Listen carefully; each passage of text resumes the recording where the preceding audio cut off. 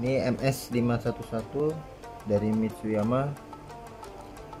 Uh, dia bisa dua mode pengisian bisa cas listrik bisa pakai panel surya dan dia juga bisa buat powerbank ya. Multifungsi banget ini. Uh, warnanya juga oke.